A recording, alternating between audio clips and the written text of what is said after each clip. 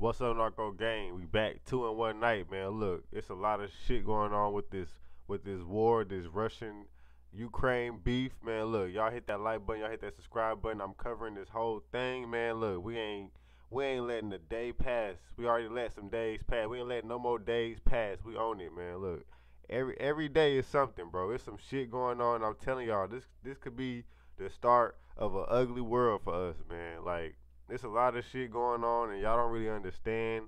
I'm not saying y'all don't understand. I don't know y'all personally, but I'm just I, from the as a whole, we don't really understand exactly what's going on. Now, I mean, I can give y'all a little bit of insight. I'm gonna put y'all on some game real quick, right? So, matter of fact, before I do this, y'all hit that like button, y'all hit that subscribe button because I'm risking my channel for this right now. You know what I'm saying? You know, YouTube don't want to hear you talking about none of this shit like this. So yeah, y'all hit that like button, y'all hit that subscribe button. But yeah, I'm gonna put y'all on some games. So if y'all don't remember, a couple years back, uh, I want to say it was when Joe Biden was a vice president, right?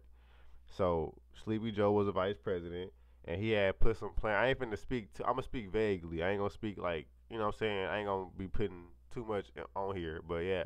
So back then he put like a, um, he put some something in play. I would call it right, something in play, to where it was gonna upset Russia in the future, right? This is when he was a vice president. So fast forward, right? He become president. So now he gotta hide all the shit that he did because he president. And you know how they do? They they be trying to impeach motherfuckers. So he gotta hide the shit.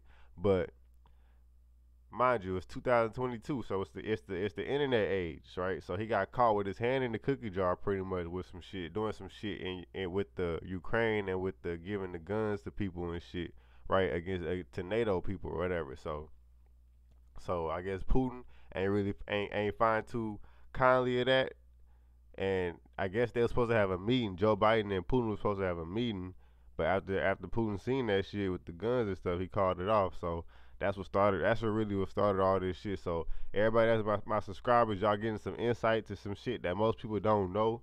So just understand that that this is this can get ugly, bro. This could get ugly. We got we got NATO versus the Soviet Union. So this can get ugly, bro. This could be the start of a, of a new world war. So let's pay attention, and we're gonna be covering this shit. Y'all hit that like button, y'all hit that subscribe button, and hit that bell to be tuned for every video I drop. Let's get back into this video, man.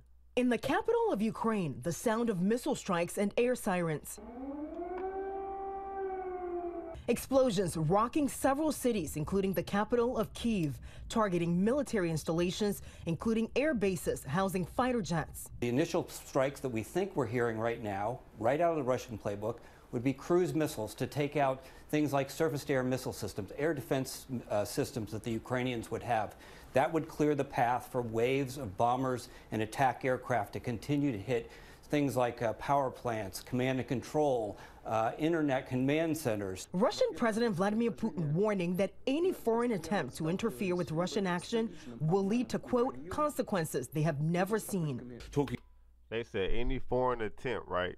So mind you, we the foreigners. That's what he was talking about. He was pretty, he was pretty much talking about us and France and shit like that, right? Because we the allies. You gotta understand that. If y'all don't know, the ally the, the the NATO ally is going to be Ukraine, not necessarily Ukraine, but in, in, this in this occasion, Ukraine is going to be a part of America, uh, NATO right now. Okay, so Ukraine, France, Germany, America, and me personally, I'm gonna put China in there as well. So y'all may not want to throw China in there, but I'm gonna throw China in there.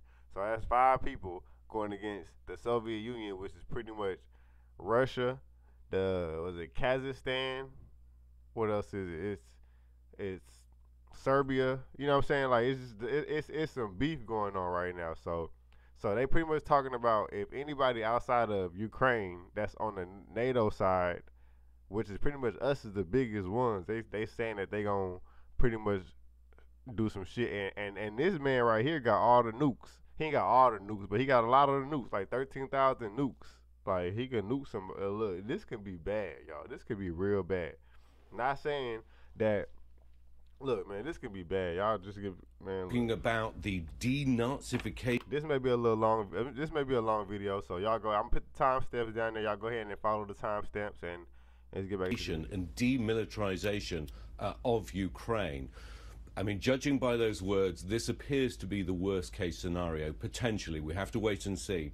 Not just forces moving into the east to these rebel held areas, but potentially moving on other parts of the country. This seems to be a much larger ambition. Ukrainian President Volodymyr Zelensky issuing a video statement overnight declaring martial law, urging Ukrainians to stay home and not panic, adding, quote, we are strong.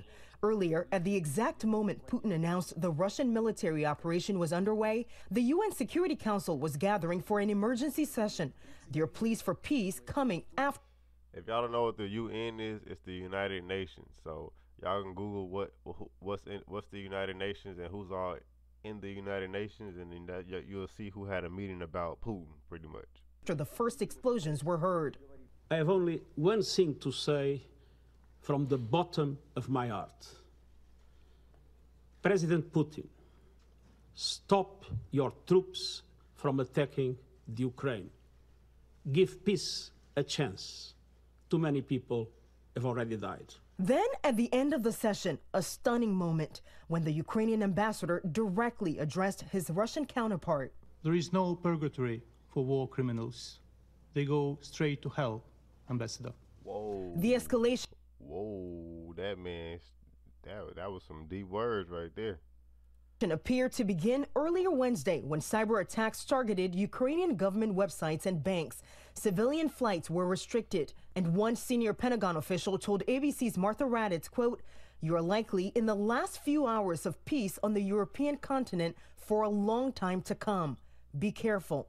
A very sobering message, but captures exactly what we are facing here in Ukraine on the European continent, the most dangerous time as they've said over and over at the Pentagon since World War II. And President Biden will address the nation later on today, announcing what he says will be severe sanctions to punish Russia. They could involve cutting off Russia from all Western financial institutions. Mona? Faith, thank you. Hi. All right, Narko Gang, that's going to be the end of that video. But look, let, let me tell y'all, man.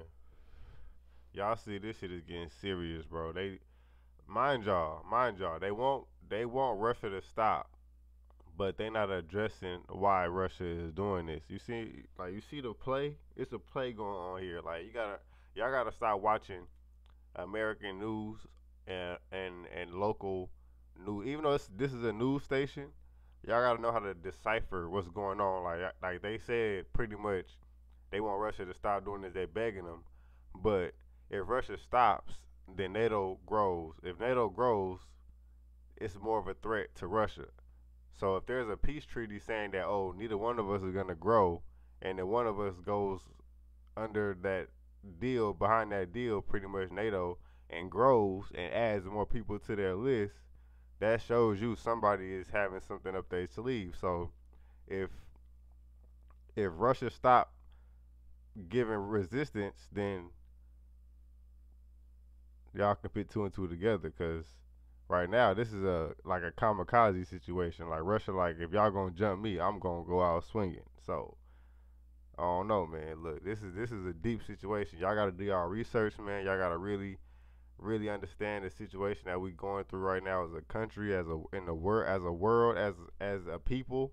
This shit is getting real serious, man. I'm sorry for a long video, y'all, but this is this had to be this had to be that. All right, I'm put timestamps in there for y'all, but yeah, that's the end of this video. Y'all like, comment, and subscribe. Narko Gang, we is out this thing.